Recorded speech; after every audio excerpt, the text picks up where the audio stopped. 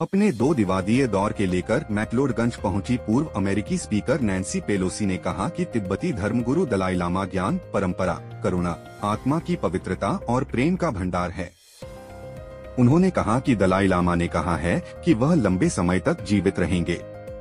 Nancy ने कहा कि दलाई लामा की विरासत हमेशा जीवित रहेगी। इस दौरान उन्होंने चीन के राष्ट्रपति पर तंज कसते हुए कहा कि तुम चले जाओगे और कोई भी तुम्हें किसी भी चीज़ का श्रेय नहीं देगा।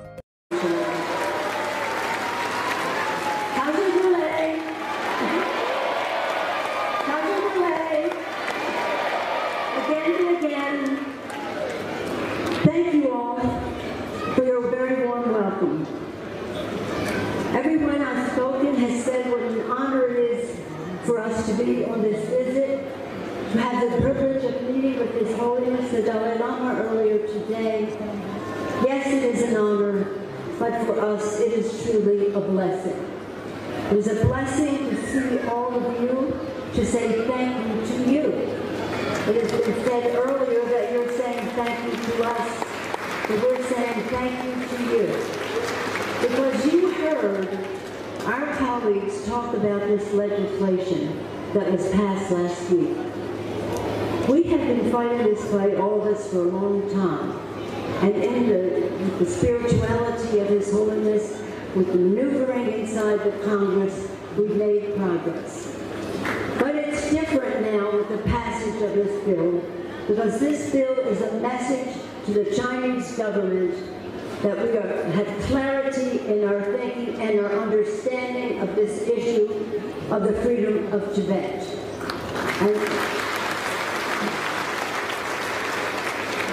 Mr. Meeks, who's the leader of our delegation and the leader of the Foreign Affairs Committee, was so masterful in the, not only the policy, but in the process of getting it passed in the most bipartisan way. Mr. Meeks, the vice, the ranking Democrat on the committee, was relentless in his persistence in getting the bill passed. With the right policy, again, with the biggest vote. And the author of the bill, Jim McGovern, well, he's just been there for us. I call him the patron saint of our Tibet policy in the Congress of the United States. Mr. McGovern mentioned our visit to Tibet a number of years ago. And when we went there, we saw for ourselves. Um, they had spoken to you officially and all that. I want to talk to you personally for a moment. There was a visit of the current president of China to Washington, D.C. And Dianne Feinstein and I said to him, we are objecting to what you are doing to the culture of Tibet. You're trying to erase it. He said, you know what you're talking about. You should go there. See for yourself all the improvements that China is making in Tibet. I said, thank you, because I've been trying for 25 years to get a visa to go to Tibet when you would never give me one, and now I assume that is one. So we went, Mr. McGovern, his wife Lisa, and other members, a strong delegation. We went to the palace, the Potala Palace. We saw the room where his, his Holiness grew up, his bedroom, and that to see, see how it, is there for him to return to. We mentioned his name all over Lhasa, and uh, I can tell you this, they are trying to erase the culture, with uh, reduce the use of the language, Hans coming into the uh, population there. They are trying something that we cannot let them get away with. Now, in the spirit of His Holiness, I'll be gracious to the Chinese people. I don't know that they're up to this, but we do know that the Chinese government is. And we do know that they must get the message. And this legislation sends the message, the House and the Senate. And soon to be signed by Joe Biden, the President of the United States.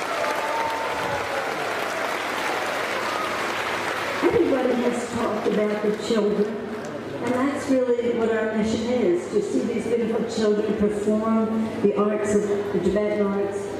Is really our purpose is to make the future better for them.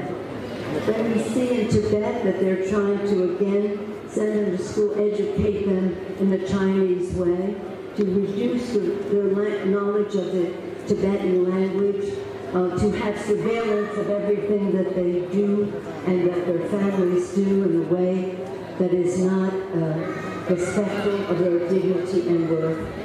We just can't let that happen. But let me just thank you. Before I came here today, I spoke to Richard Gere on the phone, and he, he said to send you his respects. He wishes that he could be here. The family matter keeps him. धर्मशाला से संजय अग्रवाल की report cameraman Yugmarg TV.